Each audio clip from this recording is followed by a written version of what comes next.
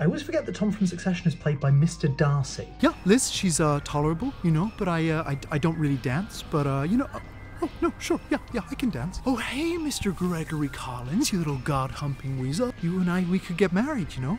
No?